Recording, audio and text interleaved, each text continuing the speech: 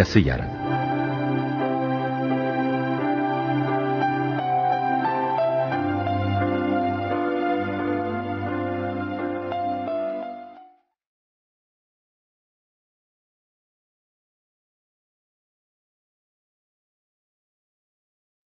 Bir Osmanlı Levendi 1. Bölüm Yapım ve Yönetim Mehmet Köseoğlu Radyoya uyarlayan Mehmet Mert Tayfun Türkili Seslendirme Yönetmeni Neslihan Gürgün Kayıt ve Montaj Muhittin Sami Yaygıngöl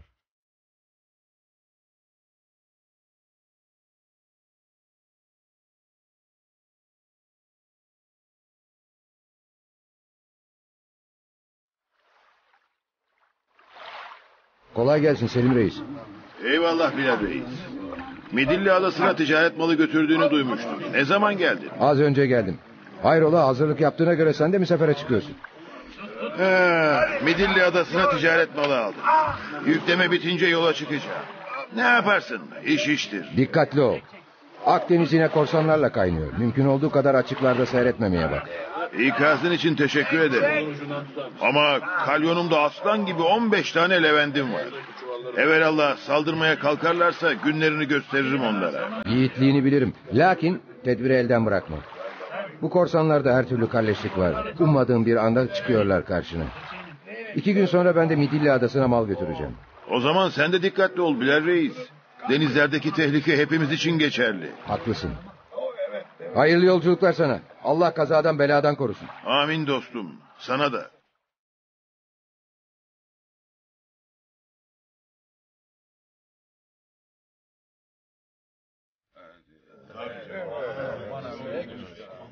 Ekrem, yeni gelen kumaşları tezgahtan alıp raflara koy oğlum. Peki amca. Selamün aleyküm. Ve aleyküm selam. Eniştem gelmiş. Oo, Bilal Reis, hoş geldin aslanım. Ne zaman döndün denizden?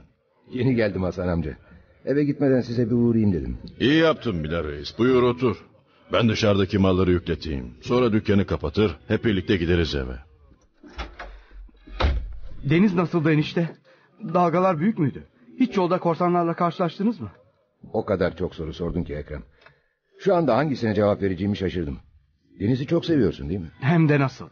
Ama denize açılmadan, kalyona binmeden, yelken çekmeden denizi sevmek bir işe yaramıyor ki. Ben de senin gibi hayatımı denizde yaşamak istiyorum enişte reis. Sabret. Sırası gelince hepsi olur. Enişte, Söyle kayınço. benim denizci olmam için annem ve amcamla konuşup onları ikna edemez misin? Neden denizci olmak için bu kadar ısrar ediyorsun anlamıyorum. Rahmetli babam ben 8 yaşındayken bir sefer sırasında korsanlar tarafından öldürülmüştü. Şimdi 19'uma giriyorum. Babam benim yaşımda denizlerdeymiş. Bense amcamın dükkanında çalışıyorum. Bu da bana çok ağır geliyor. Tamam tamam tamam. Bir fırsatını bulur konuşurum. Ama anneni ikna etmek biraz güç olacak Ekrem. Baban öldüğünden beri denizden nefret ediyor o. Sen yanıma alacağım dersen izin verir annem. Yeter ki sen iste. Bak Ekrem, denize bu kadar sevdalanmanın sebebini anlıyorum. Yalnız e, şunu bil ki deniz görüldüğü kadar sakin değildir. Günü gününe saati saatine uymaz. Bir saat önce halı gibi görünürken beş dakika sonra azgın dalgalarla boğuşmak zorunda kalırsın. Biliyorum Bilal reisim. Denizlerin hikayesini çok dinledim. Birçok Levent'le konuştum. Hepsi de büyük tehlikelerle karşılaşmışlar. Ben de sizler gibi tehlikelerle boğuşmak istiyorum. Size katılmak istiyorum. Asıl büyük tehlike deniz değil Ekrem'cim. Bu sıralarda Akdeniz korsan yatağı haline geldi. Ticaret gemilerine saldırıyorlar. Yalnız mal mülk değil gemicilerin canlarını da alıyorlarmış. Olsun. Savaşırız onlarla. Gemimizi kimseye teslim etmeyiz Allah'ın izniyle. Hem bu arada babamı nahak yere öldürenlerden de hesap sorarız. Fena mı? Anlaşılan ne söylersem senin aklını çelemeyeceğim. Eğer annem ve amcan da izin verirse seni kalyonuma alırım. Teşekkür ederim. Çok teşekkür ederim. Ya ama ya onlar razı olmazlarsa denizci olmama? Aa, bak o zaman bir şey yapamam. Geleneğimizde büyüğün lafından çıkmak yoktur bilirsin. Evet, malları yüklettim. Anlat bakalım Bilal Reis. Son seferi nasıl geçti? İyi geçti Hasan amca. Duyduğumuza göre Venedikli korsanlar türemiş. Bazı kalyonlara saldırıp mallarına el koyuyorlarmış. Evet ne yazık ki öyle. Ne zaman denize açılsanız hep seni düşünüyoruz oğul. Bizim için meraklanmayın amca. Korsanların rotası dışında seyrediyoruz. Hem sonra kalyonumuzun sürati de fazla. Bizi yakalamaları biraz güç olur. Eniştem denizcilik konusunda tecrübelidir amca. Korsanlar ona bir şey yapamaz. Orası öyle Ekrem ama yine de tehlike burunlarının diplerinde. Tehlike yalnız denizlerde değil ki amca. Karada da bizleri bekleyen bir sürü tehlikeler var. Ekrem doğru söylüyor. Yalnız denizde değil, sokağa bile çıkarken tehlikeden sakınmak için Allah'a dua etmekten başka bir şey gelmiyor elimizden. Haklısınız çocuklar. Ekrem bakıyorum da enişten gelince yüzün gülmeye başladı. Biliyor musun Bilal? Bana söylemiyor ama bu alanın da gözü denizlerde. Ya, sahi mi? Evet, bazı bazı dükkandan erkenden çıkıp deniz kenarına gidiyormuş. Görenler var. Oturup uzun uzun denizi seyrediyormuş. Rahmetli babama çekmiş olmalıyım amcacığım. Doğru söylüyorsun. Her evlat az da olsa babasına çeker. Bilal oğlum, bak ne diyeceğim. Buyur amca. Bir daha sefere çıkarken Ekrem'i de yanına alsana. Benim dükkanımda çalışmaktan sıkıldığını biliyorum. Hem artık büyüdü de. Sen de duydun, aklı fikri denizde bu çocuğun. Amca, canım amcacığım. Vallahi siz izin verdikten sonra neden yanıma aldın ki efendim? Ekrem'den iyi Levent bulacağımı hiç sanmıyorum. Amca, Allah razı olsun. Beni pek sevindirdin. Ama anan ne der bu işe? Ben onunla konuşurum. Gerçi ananın bu işe pek sevineceğini sanmıyorum ya. Yine de onu ikna etmeye çalışırım. Teşekkür ederim amcacığım. Allah senden razı olsun. Denizci olmak yıllardır içimde yanan bir ateşti. Bilmez miyim? Hadi eve gidelim de Hava Hatun'la konuşalım bu meseleyi.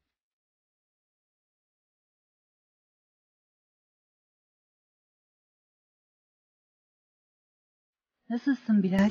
Sağ ol hanım iyiyim. Sen de iyi görünüyorsun. Elhamdülillah.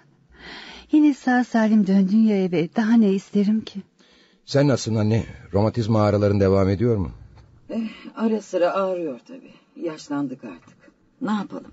Yüce Allah başka keder vermesin. Sen bizi bırak da denizde geçen günlerini anlat oğlum. Denizlerde geçen günlerimiz için anlatılacak bir şey yok anne. Her gün yelken açıp yelken kapatıyor ve yol boyunca kürek çekerek açık denizlerde seyrediyoruz.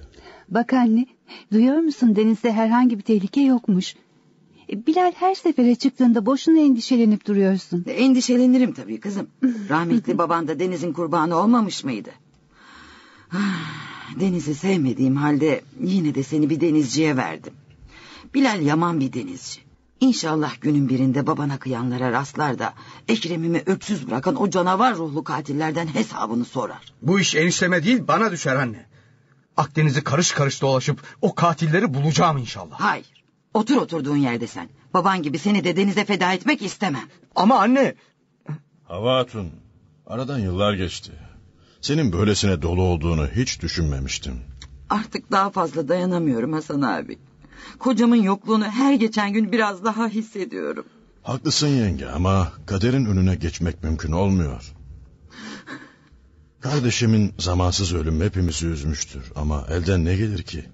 Başkalarını öldürsek bile onu geri getirmek imkansızdır. Amca, babamı öldürenlerin kim olduğunu biliyor musunuz?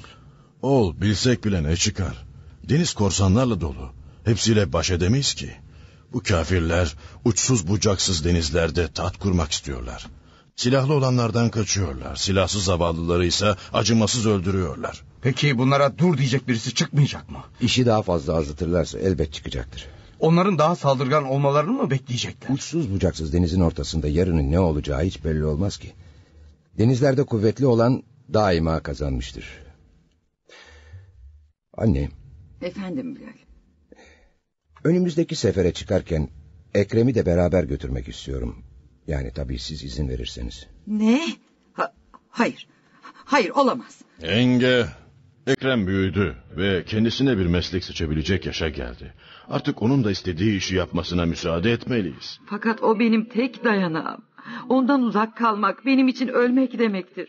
Hiçbir insana sevmediği işi zorla yaptıramazsın. Ekrem de karada çalışmayı sevmiyor. Bu sebeple de ona kendisine meslek seçerken tercih hakkı tanımalıyız. Senin de biraz fedakarlık göstermen gerekiyor. Ana, ağlama. Sen istemezsen gitmem. Yanında dizinin dibinde kalırım. Ah, hayır. Amcan haklı. Senden böyle bir şey istemeye hakkım yok.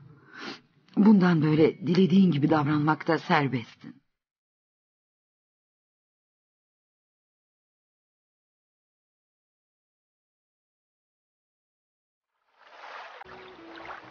Yelkenler fora! Orta! Orta alabanda! Bravo! Beni emretmişsiniz reis. Gel bakalım Ekrem. Seni dümenci başı Yanık Ömer'in yanına vereceğim. Önce işe dümen yönetmekle başlayacaksın. Teşekkür ederim reis. Bu benim için çok büyük bir görev. Büyük olduğu kadar da çok dikkat isteyen bir görevdir. İyi bir dümenci tehlike anında gemiyi ve içindeki tayfaların hayatını kurtarabilir. Bu bakımdan iyi bir dümenci denizi yenmeyi başarabilen bir denizcidir. Bu işi en iyi şekilde öğrenmeye çalışacağım reis. Göreceksin kısa zamanda bir gemiyi yönetmeyi başaracağım. Bundan hiç şüphem yok Ekrem. Yanık Ömer. Buyur reis. Bu yanımdaki delikanlının adı Ekrem. Kayınbiraderim olur. Nasıl işe yarar mı? Yaramaz olur mu reis?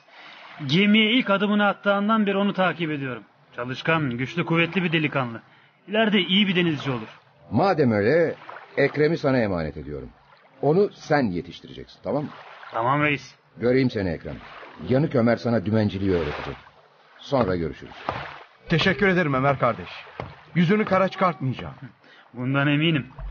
Hadi bakalım şimdi görev başına. Dümen tutmak zor iş midir Ömer ağam? Aslında yapacağın işi sözle anlatmak imkansız. Ben sadece aklında kalması için söylüyorum. Deniz coşmaya, güverteyi sular kaplamaya başladığı zaman bunu daha iyi anlayacaksın. İşte o zaman dümenin nasıl idare edildiğini ve işin kolay olup olmadığına kendin karar vereceksin. Çok merak ediyorum. Deniz ne zaman patlar? Bakıyorum da çok acele ediyorsun. Anlaşılan dümenin tehlike anında nasıl kullanıldığını öğrenebilmek için hemen denizin patlamasını istiyorsun öyle mi? Başka nasıl öğrenebilirim ki? Haklısın. Ama denizin ne zaman ve nerede patlayacağı hiç belli olmaz. Lakin bir kere patladı mı o zaman yediğimiz yemek burnumuzdan gelir. Bıktırır.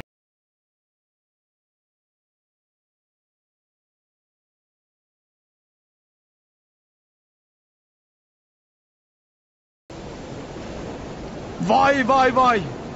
Kalyon ceviz kabuğu gibi sallanıyor Ömer ağam. Ee, denizin ne zaman patlayacağını sormuştun Ekrem. İşte bir hafta durgun giden deniz sonunda coştu. Dümeni kullanmak ister misin? İsterim tabii. Böyle havada hiç kullanmamıştım biliyorsun. Al öyleyse ama dikkatli ol. Aa! Dümen boşalıyor Ömer ağam. Gemi sola dönüyor. Sola dönüyor. Sıkı tut. Hemen toparla dümeni hemen. Tamam. Tamam toparladım. Dümeni tutmama rağmen neden boşaldı Ömer ağam?